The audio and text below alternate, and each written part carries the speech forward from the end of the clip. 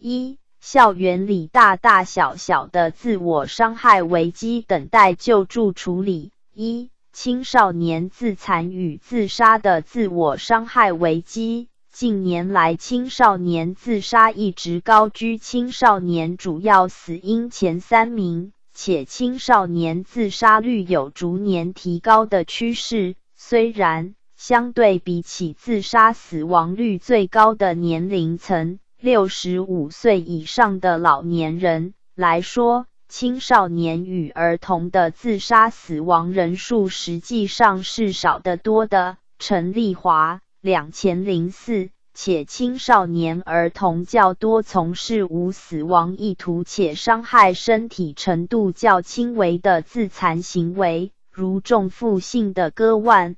干扰伤口愈合、打自己等等，但是这并不代表该次只是从事自残行为的青少年及无自杀危险性与转介治疗的必要性。相反的，自残行为可能是自杀危险的指标之一。许文耀等一千九百九十四，如 Walsh 两千零五。即指出，多次的自残却无法得到适当的帮助与回应，可能会使自残者因绝望感而转入自杀之途，且自残与自杀尝试的共病现象也达二年三月成左右。Walsh and Rosen 一千九百八十八，甚至。少部分的自残青少年也有可能因为不确定自残的行为后果，或不小心失手误伤自己，造成自伤意外死亡。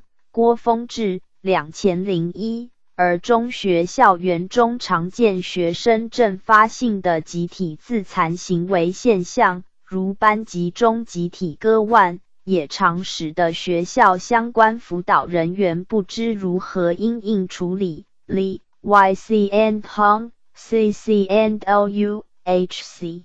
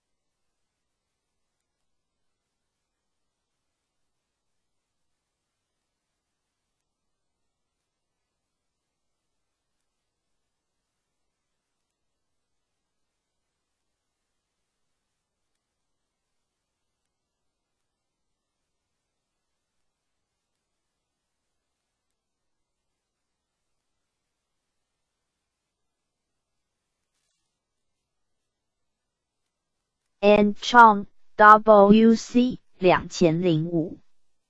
这些大大小小的校园自我伤害危机，全待救助处理。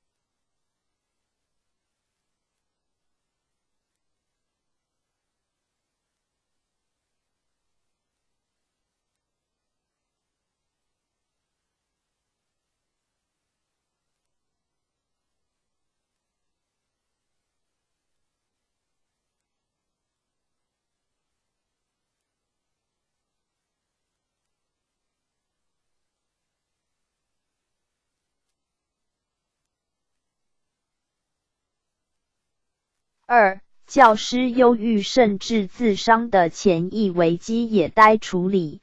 不仅校园中学生自杀、自残等自我伤害问题值得重视，去年教师节前夕，金车教育基金会对全省国中小一千六百名的老师抽样调查，也发现，在一千一百九十一份有效样本中，有五成二的老师忧郁指数偏高，有六成二的老师担心教职会因减班而遭调职或调校，而更有高达九成六的老师认为目前的教育政策不能减轻孩子的课业压力。在这份调查中，受访老师表示，在教学过程中感到快乐的主要来源，以教学成就百分之六十点零和学生成就百分之二十一点一最多。不快乐的主要来源前三名分别是教育政策百分之二十九点五，行政负担百分之十九点七，与备课时间。百分之十四点四，翁翠萍两千零五。从以上的数据资料看来，教师除了感受到并担心学生学习的压力，在教学行政事务上的负担也是使教师不快乐的来源。目前大幅减班减校的政策，更让教师为自身的处境不安与焦虑。加上教师本身是助人者身份，有时会使教师在考虑求助时处境更加艰难，故而教师自身处于忧郁与自我伤害危机的可能性也丝毫不逊于学生们。然而，在校园自我伤害防治政策的实施过程中，一般大众的关注焦点都在学生身上，却忽视了教师本身也会忧郁，也有需要求助的时候。因此，在校园忧郁与自我伤害的防治工作中，教师除了担任助人者的角色外，也应是校园危机处理机制中应被妥善保护与照顾的一环。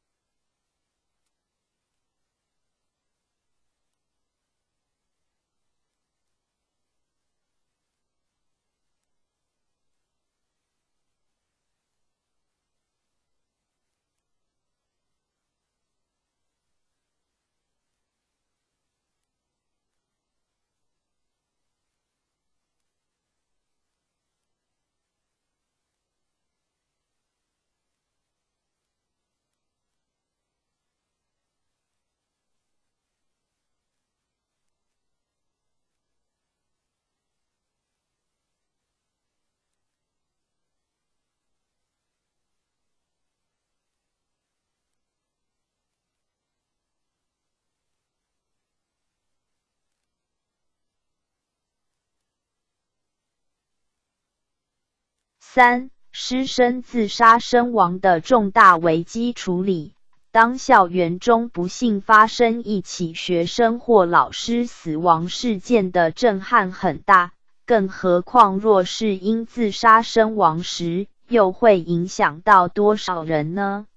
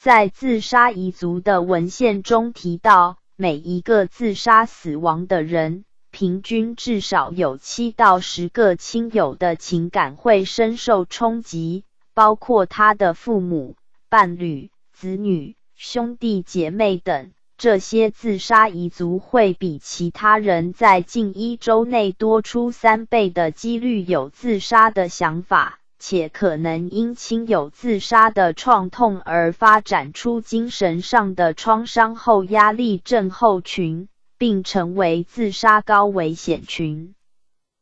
当一个自杀案件发生在校园中，或者当该自杀者本身是教职人员，且自杀事件发生在学校时，所影响与波及到的周遭亲友、师生人数，绝对是比该自杀事件发生在社区或家庭中时来的多，其影响与冲击也是更为广泛深远的。林坤辉，两千零五。因此。在推动与执行校园忧郁自我伤害防治工作时，我们不可不慎重准备，万一校园内自杀身亡重大事件出现，如何紧急动校园危机处理机制。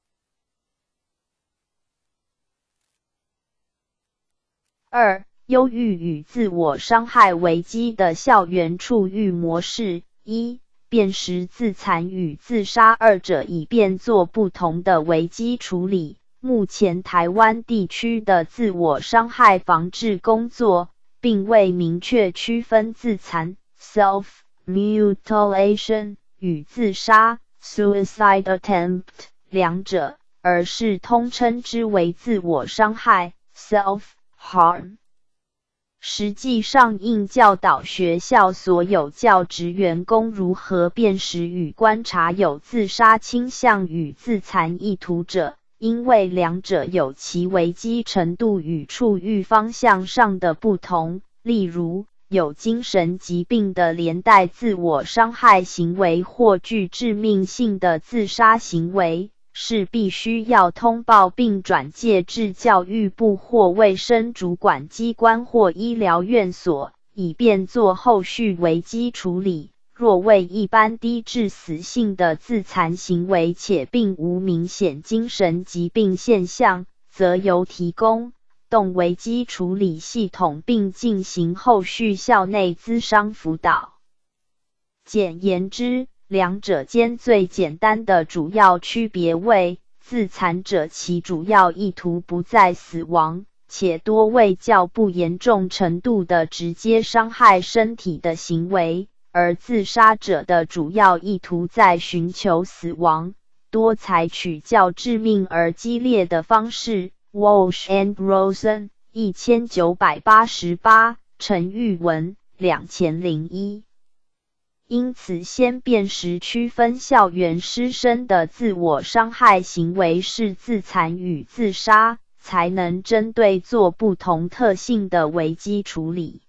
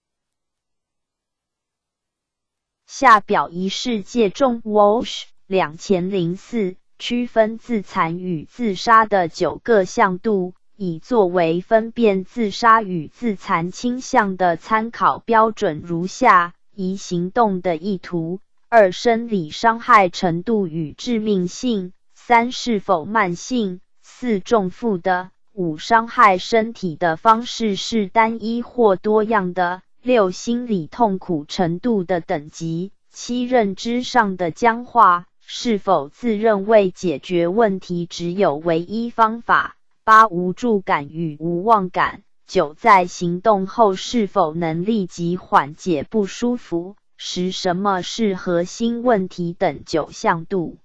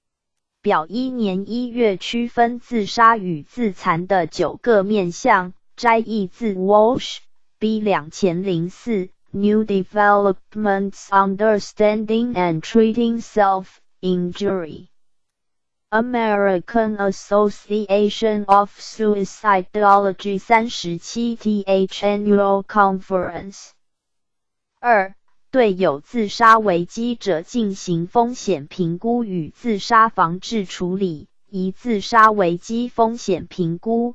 当接触有自杀危机者，除了同理、倾听、不批评的态度外，在与之谈话间，可简短的用七个向度做自杀的风险评估，以判定其危险程度后做处理计划之依据。一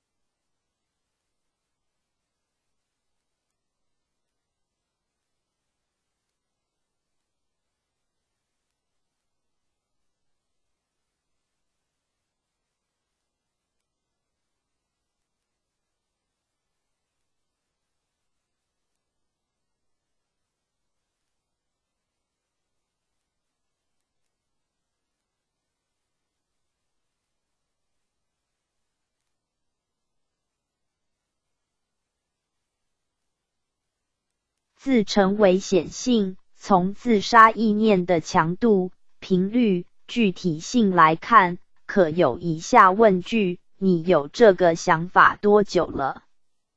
这个想法出现的频率有多高？多久一次？你有想过什么时候去做吗？星号当事人自杀的想法越频繁、越具体，想自杀的强度越高时，就越危险。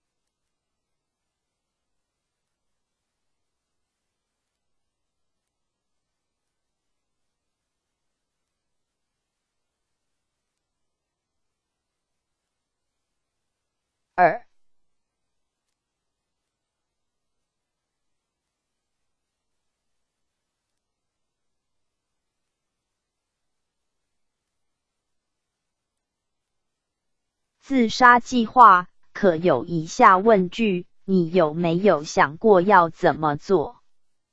有没有其他人知道你的计划？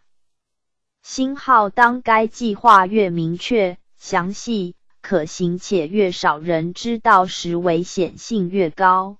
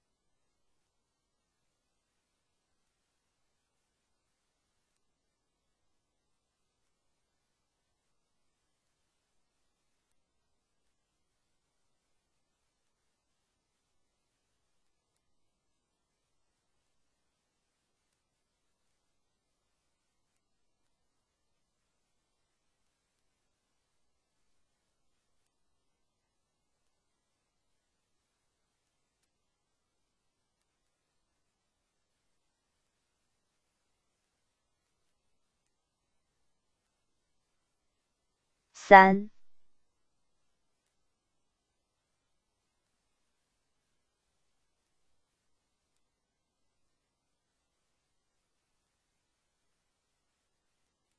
自杀工具，你有准备什么工具吗？你现在手边有哪些工具？你会怎么做呢？你如何取得工具？星号当工具越容易被取得，且致死性越高时，越危险。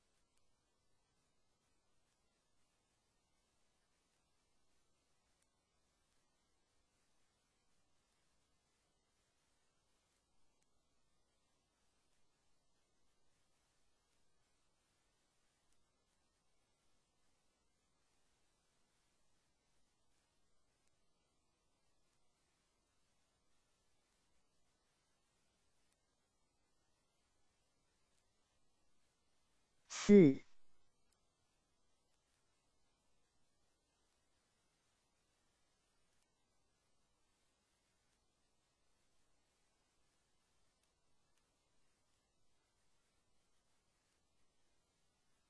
行为历史，你有自杀过吗？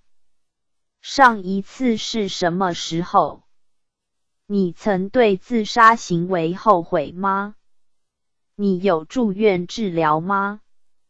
你有亲朋好友自杀过吗？当他发生时，你几岁？你跟他是什么关系？星号当事人有自杀史。有亲友自杀过或在一个月内住院治疗过时，就越危险。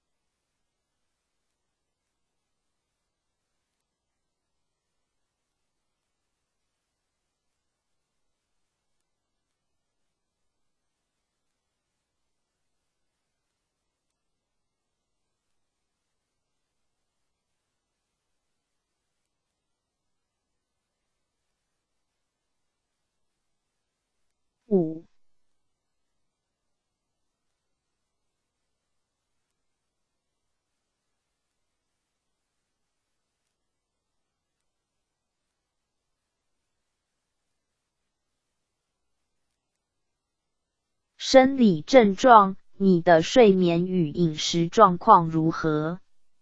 你常感忧郁或焦虑吗？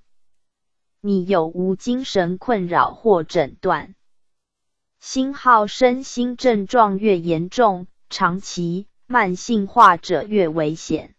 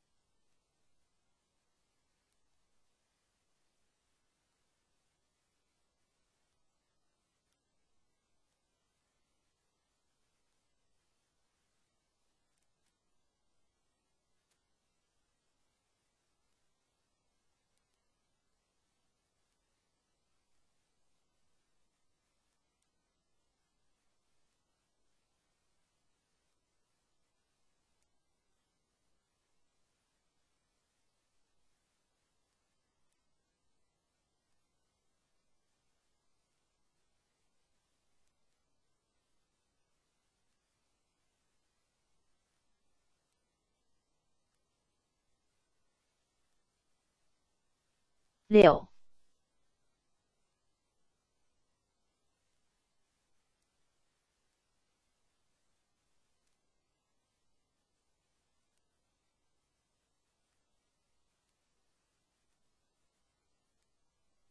社会关系：你是独居或与朋友同住？在学校，你跟谁最好？你最信任的人是？你有告诉他们你的感觉吗？星号独居，社会支持差，或近期与亲友有破裂关系者越危险。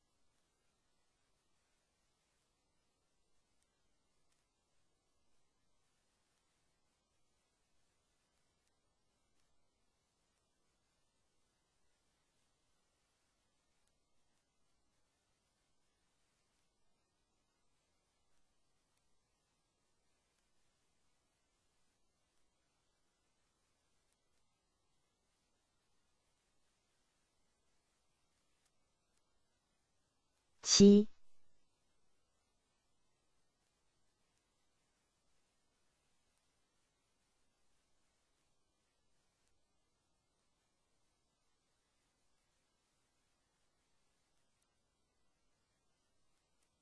自杀行动评估：如果你死了，你希望会发生什么事？你现在如果死了，谁会最在意？如果你真的做了，你身边的人会如何看待你自杀这件事？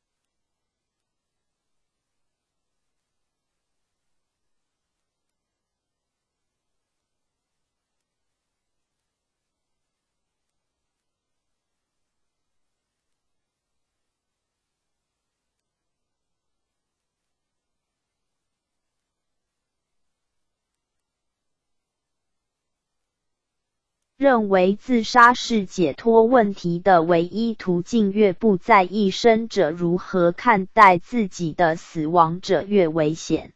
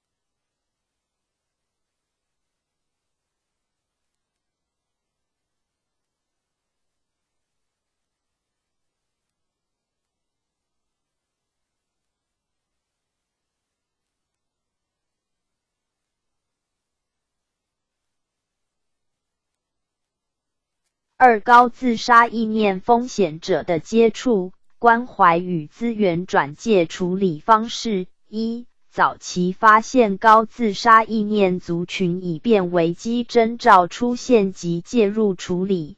根据 Katchner 提出的初级预防宣导、四级危机评估与资源转介与三级预防危机处理的自杀防治计划，林卫方。一千九百九十三强调危机预防，以尽早发现有适应困难师生，并提供早期简单的危机处理服务。因而，在校园内的做法有可以有：A 可以运用辅导中心适应状况评估的问卷施测来筛选高危险群外。王亚平，两千零四。